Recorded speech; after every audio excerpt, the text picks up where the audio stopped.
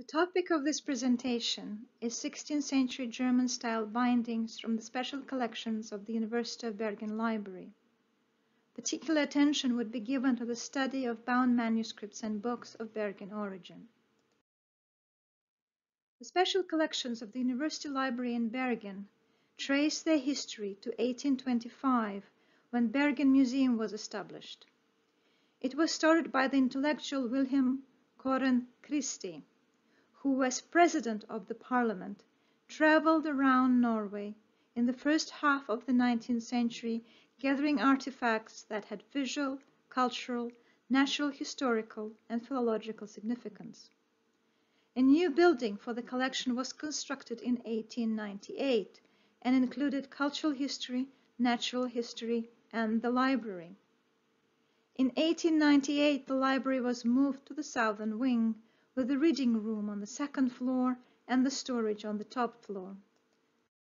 Later, the library was moved to the Library of Humanities on the right, and in 2005 was housed in the Faculty of Humanities seen on the left. The first examples of historical bookbinding date from the 16th century, the period of Reformation. By then, Bergen was the Norwegian center for the Hanseatic League, which traded dried cod to the rest of Europe. The Hanseatic League was present in the city from the 14th until the 19th century, and Bergen was often called the German town. The name Bergen is actually a German modification of Björgvin, the original Norwegian name. Norway became part of the Kingdom of Denmark after the plague of 1380 and remained united with Denmark until 1817. Lutheranism was officially established as the national religion by Christian II in 1536 in Denmark and in 1537 in Norway. The common Lutheran religion further contributed to the German influence in printing and bookbinding in both countries. The majority of books from the 16th century in the collection mostly demonstrate the tradition from Denmark as well as Germany. Norway was equipped with a printing house only in 1643. However, bookbinding workshops started operating in big cities like Christiania, which is now Oslo, Trondheim, and Bergen from the early 16th century, as it was necessary to bind accounting records to be sent for tax inspection to Copenhagen, the capital. Most of those bookbinders were foreigners, and the list of citizens working in Bergen mentions, for example, the bookbinder Jesper Tellemand in 1558 and another Abraham Säbescher in 1584. There were too few bookbinders to form a guild, one to three per city, so they belonged to guilds from other countries like Sweden or Denmark. The book historian Astrid Bugge, in her book from 1927, speaks about two schools of bookbinding like a, that are recognizable in Bergen. An early one that lasted until 1587, in which Abraham Säbescher must have been the principal binder, and another after 1587. Bugge says those early bindings are only found in the Royal Library of Denmark and University Library of Oslo and not present in Bergen. The second school of bookbinding is represented by two manuscripts preserved in the University of Bergen Library.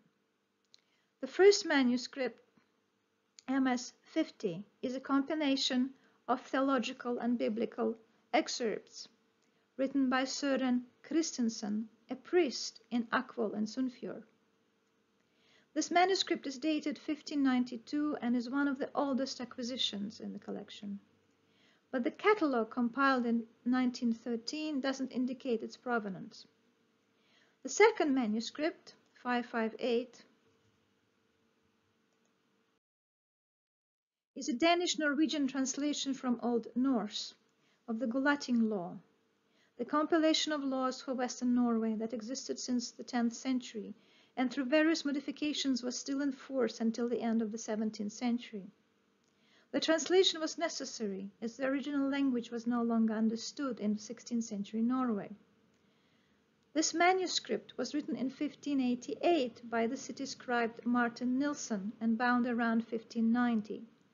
It came to the Bergen Museum in 1915 from the Alvern farm in Sogn. It had been the possession of Uli Elias Holk, a colleague of Christie, who collaborated with him in collecting medieval documents such as charters for the museum. Both manuscripts show Renaissance inboard binding of German style. They are sewn on double raised cords and have blind tooling decoration on the cover. MS-50 in brown calfskin, MS-558 in white alum tawed, possibly sheepskin. Both are quite worn and have multiple damages from centuries of use. For the sake of the study of the binding, conservation has not yet been undertaken. Researcher Matthias Tveitane identified those two manuscripts as having been bound by the same person or workshop. From the bookbinder's stamp or H. So far it is not known who stand who might stand behind those letters. In Oslo, Copenhagen and Stockholm, three other bindings have the same OH stamp, but they will not be part of the study. Tveitane also points out that the stamp depicting the prophet David has the letters J and K. And he suggests that it belonged to Jacob Krausen, the famous bookbinder at the court of Elector August of Saxony, who raised bookbinding to a high level of artistry. Although Jacob Krause was dead by 1588, Tveitane supposes that the Bergen bookbinder O.H. might have been trained or worked within the Krause circle, and could have brought those stamps with him to Bergen. It hasn't been previously noticed that besides the OH stamps, there are stamps that depict elements of the coat of arms of Saxony in the first border of the central panel. These are an eagle, a rampant lion, and a striped shield with Gothic crancelin, each repeated twice. These are found in both manuscripts on the front and back cover, although without following a specific order. Similar stamps are seen on the full coat of arms that was blind tooled by Jacob Krause for Elector Augustus on the left as the one seen here from the Darmstadt Library. A similar coat of arms is found on the Lexicon Hebraicum in the University of Bergen Library in the middle. It was printed and bound in Wittenberg in 1568 by Schreiber Wittenberger. The present task is to study these two manuscripts from the point of view of bookbinding archaeology as well as stamp designs and compare them with inboard blind tool bindings from Germany, particularly Saxony, to see if this tradition might be traced in these manuscripts and thus indicate the origin of training of the OH master. Alternatively, the binder might have secured the stamps without having trained in this school. The manuscripts are of similar size. The Bible extracts manuscript is just 2 centimeter longer than the Gulating's long, and they're the same in width and, and thickness. Both are sewn on four double raised cords with link stitch without bypass. There is 3.5 centimeters between the cords plus or minus 2 millimeters and the head and tails ends are just either 4 or 4.5 centimeters. It is not understood why in one manuscript tail end is longer while in the other it is the reverse. In the study of other manuscripts, no particular system could be observed. Some have taller head, others taller tail end, or they could be even. Based on the diagram from Szirmai, the sewing in both manuscripts may be identified as type A, sewn around both cords through the single hole. In already mentioned Librar Q24, found in Wittenberg in 1568, we can see the same type of sewing. The difference between the Bergen manuscripts and Saxonian binding is the German one has more regular sewing, while MS-50 show unevenness in thread tension. For both manuscripts, a transverse lining was applied with glue on the spine. Long strips of parchment were cut and adhered in between the supports, while the loose ends were attached on the inside of the boards. This can be seen on the crack of the leather covering on the spine of MS558 and under the paste downs. And under the paste downs.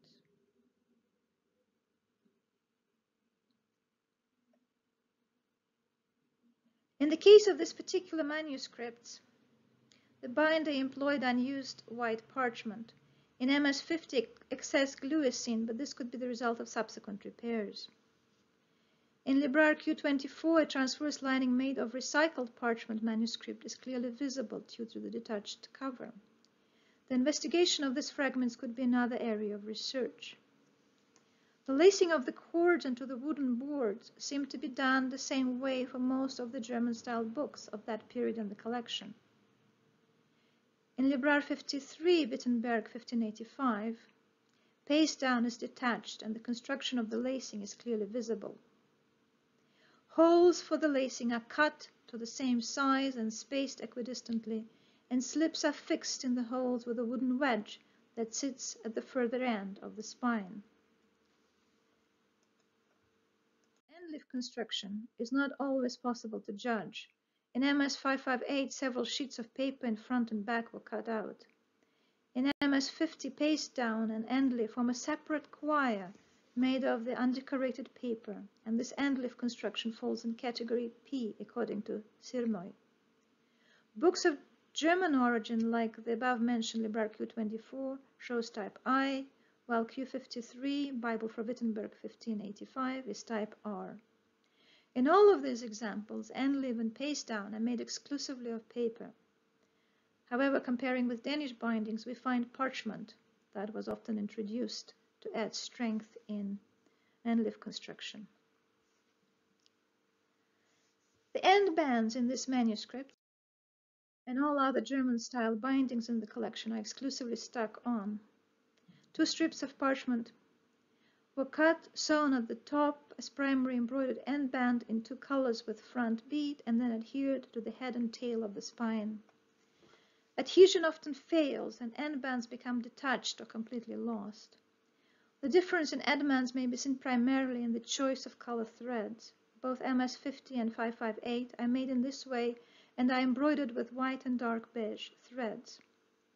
For the sake of comparison with other Saxonian bindings, Q 73 is another book that quite probably was also printed and bound in Wittenberg, 1557, and it has the same type of primary embroidered end band in white and dark beige colors as our Bergen manuscripts.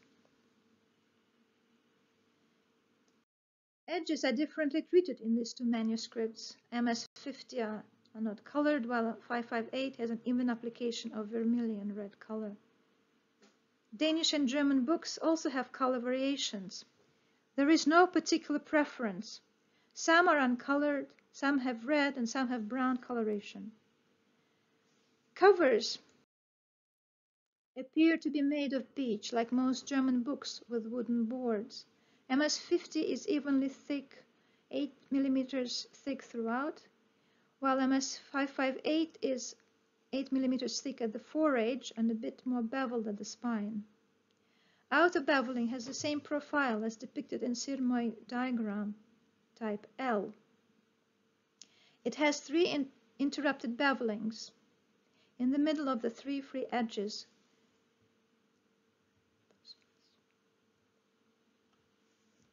with a small carved indentation at the side of each catch plate on the foredge. Flat corners were left for metal furnishings. This can be seen on Librare Q53 on the left, which doesn't have corn which does have corner bosses. Both Wittenberg books on boards have the same type of beveling profile here on the picture. Szirmai quotes Kyriss. A combination of interrupted outer bevels with a full-length flat inner bevel along the free edges had begun to appear around the 1480s and became standard in Germany in, in the early 16th century. Another characteristic feature of late Gothic and Renaissance bindings is the presence of squares, a space between the edge of the board and the text block. To be called a square, it has to be more than 6 millimeters deep. In both Bergen manuscripts, there is a sharply cut inner bevel. with a large square of one centimeter deep, which is quite large for octavo format. This seems to be a characteristic feature for books of the OH master. Most other books of similar size have squares less than one centimeter deep. Both, both Bergen manuscripts have hook clasp fastening with the catch plate at the front cover, like most of the German-style bindings. As Szirmai says, it consists of a catch plate attached to the board edge and a movable clasp in the shape of a hoop riveted to strip anchored to the end of the opposite board. All of the German-style bindings, those from Bergen and Wittenberg, have a similar catch plate, which is elongated and ends in a point. There are various decorations made with engraved lines and concentric, concentric circles. Although the catch plates on the two Bergen manuscripts are very similar in design and form, they're not exactly the same. Only the Danish manuscript demonstrate a very distinct style with the wider outer end. The hook is still preserved only on one manuscript, MS-50. A thick piece of leather is riveted between two plates of the clasp. Returning to the cover design, the front cover of MS-50 can be described as having a central oval image of Justitian holding a scale and a sword of judgment. On the blind tool binding from Frankfurt, 1571, Darmstadt Library, there is the same central image of Justitian, and all the details of this fashionable lady can be seen more clearly. The design, the design of the 16th century dress, plumage in the head, and a net covering hair. On the back cover is the image of Lucretia with an open breast thrusting a dagger in her chest. Lucretia was a noble woman in Rome who committed a suicide after being raped, and that led to revolt and change of government from monarchy to republic. Both images allude to virtues that are often encountered in Lutheran art and speak to the sense of justice and moral strength that alone can change the world. Both central oval images and decorative branches in the corners are gilded. Jakob Krause has been famous for introducing gold tooling in his bindings, a tradition he learned from French bookbinders. The charm of this Bergen binding is that on both covers the central oval is not perfectly in the middle and not absolutely straight, the figure leaning, leaning a bit to the left.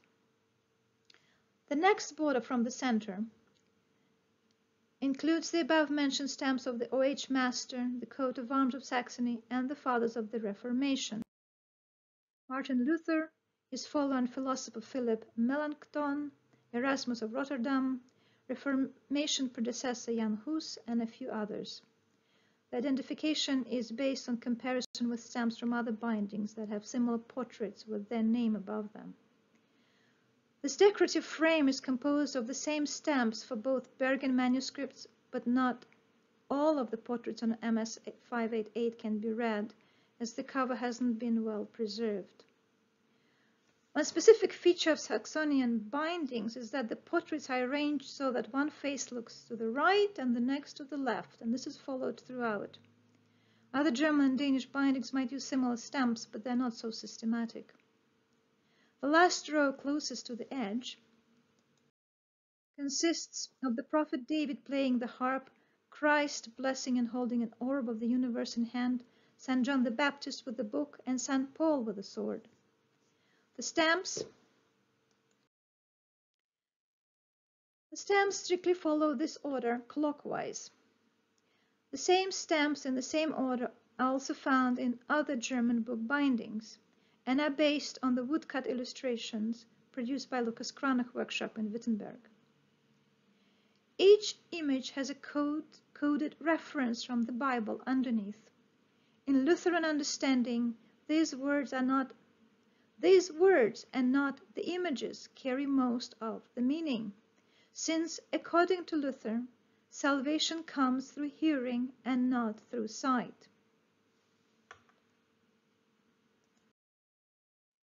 Under the image of David is written, The fruit of thy womb I will set upon thy throne. Thus David here is not represented as a composer of psalms, but as the ancestor of Christ naturally follows the image of Jesus Christ holding the universe in hand. His words are, All power is given unto me in heaven and on earth. Go ye therefore to teach all nations. And St. John is a quote from the Gospel of St. John. Um, this is Lamb that removes sin. He is followed by St. Paul with his identifiable sword of faith with the word, when the kindness and the love of God our Saviour toward man appeared, not by works of righteousness which we have done, but according to his mercy he saved us. St. Paul's writings play an important role in Lutheranism, and this notion of grace, the love of God that grants salvation, regardless of our personal efforts, takes a central place in, in Lutheran teaching. Thus, a certain iconography emerges from these stamps, one should cultivate virtues of justice and faithfulness in one's spiritual work towards salvation, and these are elucidated by the Fathers of Reformation based on the teaching of the Bible. This seems appropriate to a manuscript of Bible extracts and commentaries. While studying the inbound books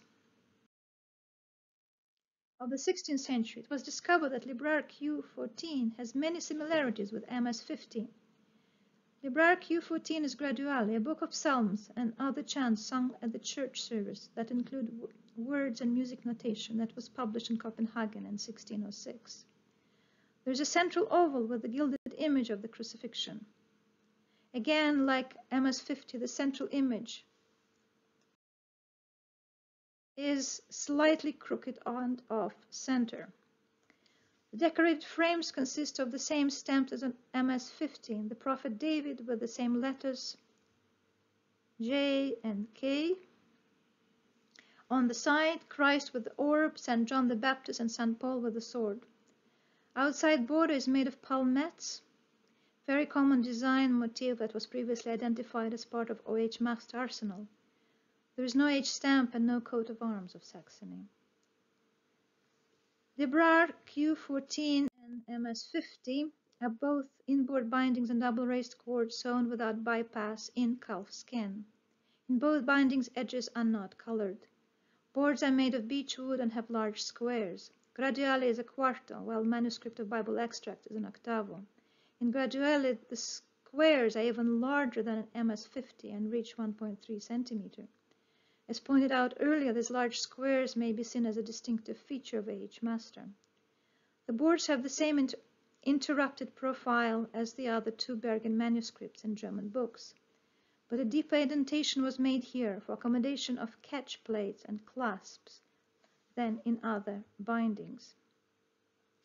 The fastenings were not preserved. There are some nails and marks on the leather that show that the catch plate was also elongated and pointed, as on the books as on the other manuscripts, but it was wider and longer. The end band is the same stuck on, but the binder used white and blue thread instead of white and beige. Are new materials introduced to the workshop 14 years after MS-50 was bound, but still many elements point on the same hand, and this book could be included as the product of the OH master or his workshop. The blind tool design of the alum tawed binding of MS558 is harder to read since the cover is badly worn. The central image depicts a kneeling King David, his hands raised in prayer while the harp rests at his side. God the Father with the orb in his left hand stretches his right hand towards David. The words on the arch above him say, Lord, who can resist thy wrath? Under David is the quote from the psalm, Lord, hear my prayer and enter not into judgment with thy servant. On the back cover there is a standard image of Annunciation. These stamps could be alluding to the ideals of divine mercy and grace that alone can grant salvation. The next border surrounding the image consists of small portraits amidst foliage. Tveitane suggests that these could be Roman poets. Some of them do have laurel leaves, laurel wreaths, sorry, but others seem to have helmets and thus could represent military figures. The next row depicts Fathers of Reformation, the coat of arms of Saxony, and the personal stamp of the Master H, which was seen before. The last row is a decorative row with plant motifs. While conducting a survey of the collection, another book was found that appeared very similar to MS 558. It is Librare 282, a Pericope Evangelio, or abbreviated sections of the Gospels to be read at public services, composed by the Protestant theologian Johannes Brenz. It was printed in Oberursel in 1570 and bound in 1585. It is smaller in size than other two Bergen manuscripts. Has three double raised bands. The spacing between the bands at the tail end and hand end are all 3.5 centimeters, just as in between the middle bands of the two other Bergen manuscripts. The edges are colored red, the same as MS 558. The covers are made of pasteboard, not wood, with several layers of paper glued together. There are no fastenings, but there were ties made of alum tawed skin. Astrid Bugge has pointed out that books from early workshops prior 1587 tended to have pasteboard covers and ties instead of hook clasp fastening.